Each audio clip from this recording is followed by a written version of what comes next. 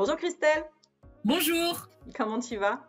Mais Très bien, euh, un confinement euh, qui se passe euh, aussi bien qu'il se peut. Bon, dis-moi Christelle, on n'est pas là pour parler du confinement, on est là pour parler de ce que tu maîtrises le mieux, c'est-à-dire la mobilité, puisque tu es référente mobilité au campus du lac. Est-ce que tu peux nous faire bah, un bref résumé de ce qui se passe actuellement sur la mobilité? Alors, euh, mobilité et confinement, comme tu dois bien t'en douter, bah, ça fait pas bon ménage. On a été euh, contraint, obligé euh, d'annuler tous les projets en cours, tous les projets qui avaient été planifiés jusqu'à la fin de l'année scolaire, à savoir, pour n'en citer que quelques-uns, bien Grenade en Espagne et Dublin en Irlande pour les infrabacs de la restauration et du tertiaire. Donc annulé. le voyage à Paris pour les apprentis de Libourne a été annulé également. Euh, donc on annule, on reporte euh, ces différents projets, même si nous n'avons pas de date précise parce qu'on ne sait pas euh, exactement à quel moment l'activité va repartir.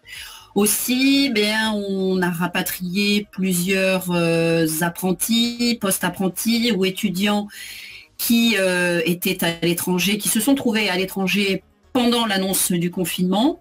Donc la majorité d'entre eux ont, choisi de, rentrer et certains euh, sont restés sur place et ils sont euh, confinés et en télétravail comme nous. Ils ont bien de la chance. Dis-moi Christelle, est-ce qu'il y a des projets euh, d'ici la fin de l'année?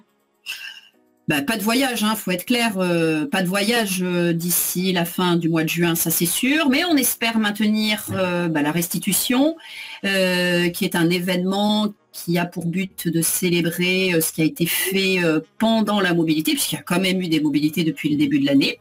Et cette restitution, si elle a lieu, aura lieu, je l'espère, le mardi 23 juin prochain. Voilà. voilà nous aussi, on l'espère, parce que cette restitution, on l'attend à chaque fois de pied ferme. Dis-moi, Christelle, tu n'aurais pas une bonne nouvelle quand même à annoncer à nos futurs diplômés euh, en BTS, par exemple? Alors, tout à fait. Euh, les futurs diplômés, ceux qui auront euh, leur examen au mois de juin, on croise les doigts pour eux, ont toujours la possibilité de partir entre 3 et 6 mois pour effectuer un stage professionnel à l'étranger. Donc si ça les tente, s'ils souhaitent partir, même si on ne sait pas exactement quand on pourra organiser leur départ. Et ils peuvent me contacter, je leur répondrai avec grand plaisir.